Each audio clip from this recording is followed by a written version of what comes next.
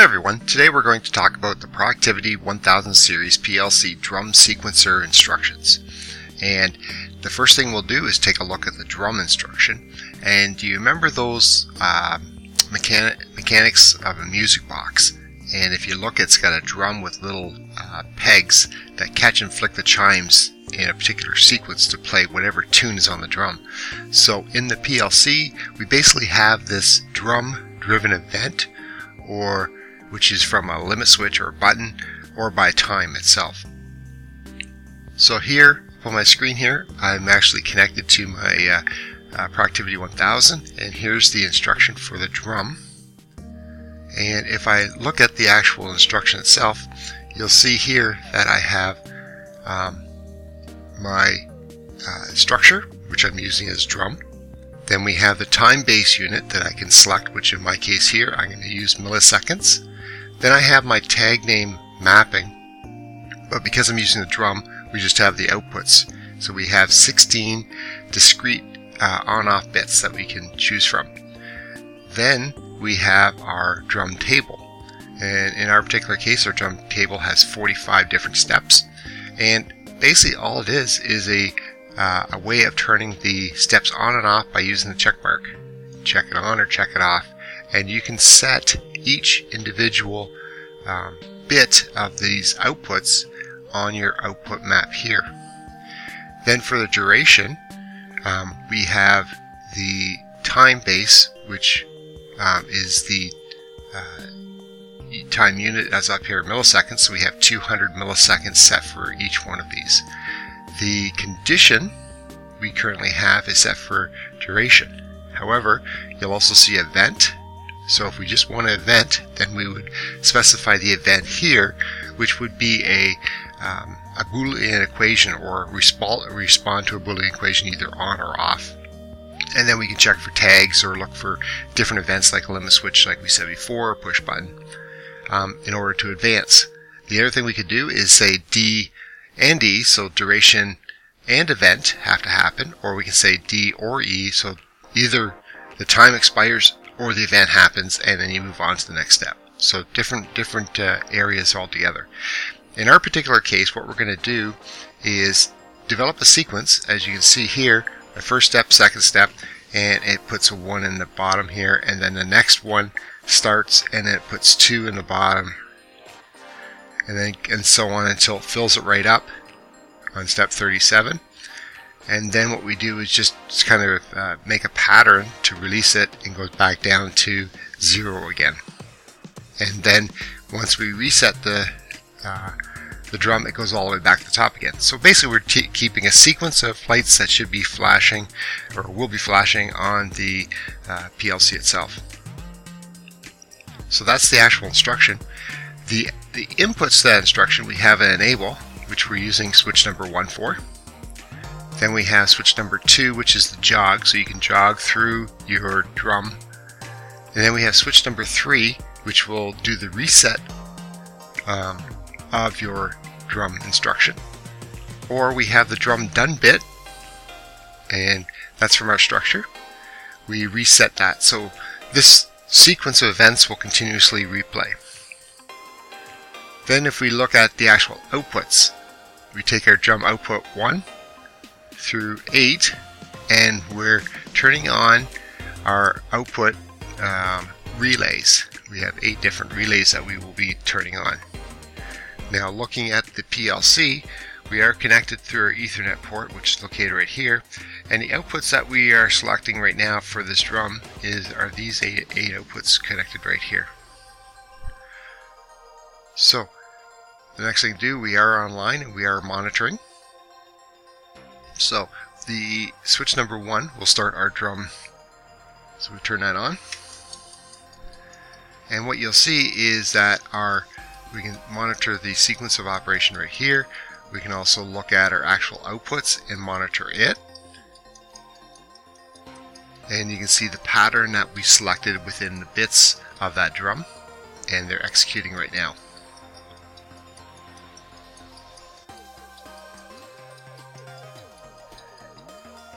We could also go to our our uh, data view and call up our data view and we can see the pattern of the drum, our drum step number, and our drum step time indicated right here.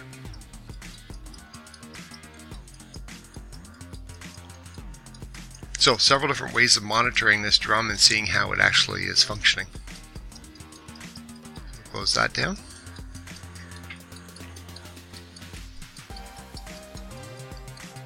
And that will continuously go on and on forever. So if we were to uh, turn that off, we can hit 3 for a reset.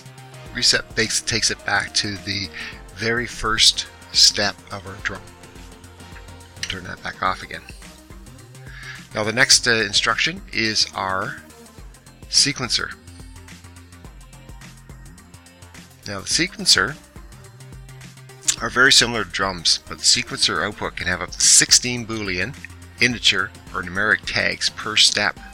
So your drum instruction outputs are limited to the same 16 boolean bits. Each step in the sequencer can be defined by time and or event and or specific outputs can be set going in and out of the step. So let's take a look at our sequencer and we will double click on it. And what you will see is that we have um, again something similar to our, our drum. We have our time unit set here. We're using a structure called sequencer which sets up our current step our current cycle time our elapsed time in our step and our done bit. We also have our initial step that we can um, put in to say this is our start step. Then we have the number of steps that we want. Then on each of these tables we have our step numbers down here and then we have our outputs, our duration, condition, event, our disable step that we can disable if we wish not to run that particular step. And then we have a comment that we can comment each individual step with a certain uh, uh, structure so we can say what, what exactly is going on. So if we look at the actual inputs here, or the outputs, you'll see where it says show. And you see here we got we have duration up to 200 or 200 milliseconds here, and then we have 2000 for two seconds on this one. And so well, let's look at the last one here. Well, it's show. We'll hit show, and in there what you see is now here's where my output values are stored. So I can have up to 16 different output tags located here. In my particular case, I've created a tag called sequence bit output. And it actually is going to, once you go into the step or start the value, it will be uh, 65,535, which uh, turns all the bits on within that 16 bits of my uh, output. And then the end value will be the same. So again, within each individual step, we can determine what values are going in and out. So we'll hit OK. Then um, our condition of the event. So again, we can select duration, event, uh, duration and event, or uh, duration or event. So the time expires or the event happens. And then we actually specify our event here. And as mentioned before, we can disable a step or we can comment that step. So in our particular case, what we're going to do is create a pattern um, like the uh, movie Knight Rider and had a car in there called KITT, and the light just went from one um, spot down back to the other and then bounced back again. So it's an oscillating um, light going back and forth. So we'll recreate that, but we'll put a little twist as well. Um, when I have input number 8 on, what will happen is the um, data will uh, switch to another sequence which will turn all the bits on and then all the bits off. So in our case here we have switch number 4 is my enable and then we have switch 5 which is jog, switch 6 is my reset. And then on my sequencer if I do not have switch number 8 and my sequencer is less than 30, remember I have 32 steps, then I reset it. So that's my basically my Knight Rider light sequencer that will go from uh, bit uh, 1 down to bit 16 and then go back again to bit number 1. Then if switch 8 is on and the sequencer is equal to 1, what we do is we actually move the value 31 into the sequencer step number.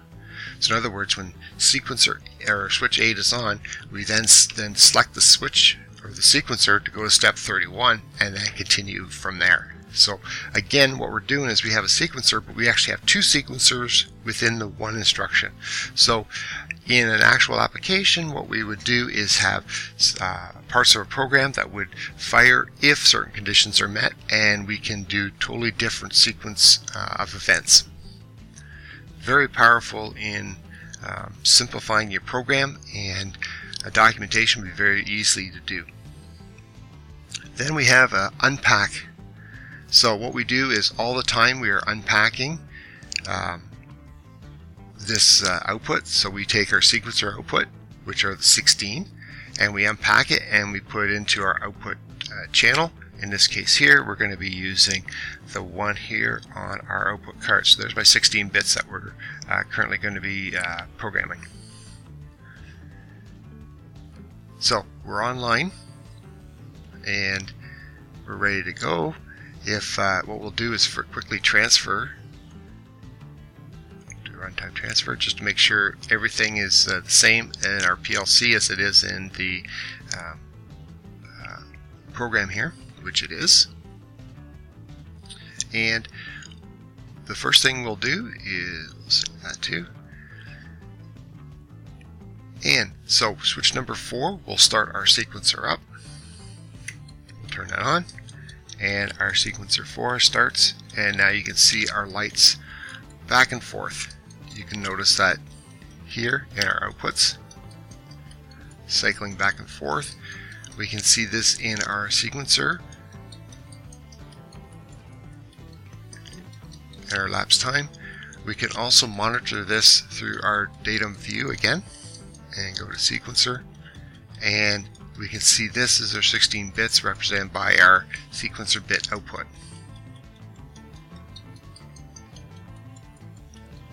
So we are oscillating back and forth just like the Knight Rider and KITT.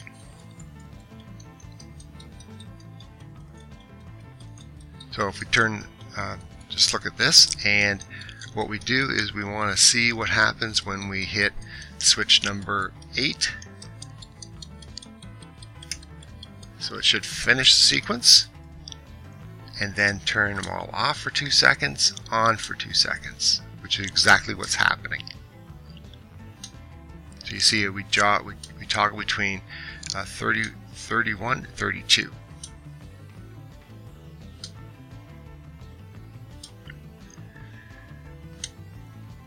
Then our switch number 6 resets, and I reset to our initial one. So you see our reset overrides our input. We'll turn our enable off, turn off our reset.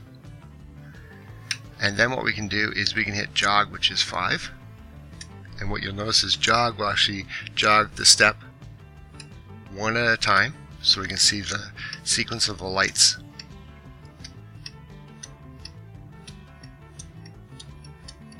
All the way down to 16, that goes back up to the other. If we want to jog when 8 is on, we will continue jogging to the end. Then what happens is it should then turn all off and then all on. All off, all on. So our jog switch works for both the sequences that we programmed within our sequencer. Now, all the uh, links and documentation can be found on our website at accautomation.ca. If you like this video and like to see more, there are three ways in which you can help us out. You can give us a thumbs up so other people can find this information just as you have. You can subscribe to our YouTube channel. You can also go to ACC Automation and subscribe to our website. When you do, notification will be given to you every time we publish new content to the site. You'll also get two free ebooks on numbering systems and robust data logging. And a third thing to do to help us out is to tell a friend or colleague about the site. Alright, that's it for now. Thanks for watching.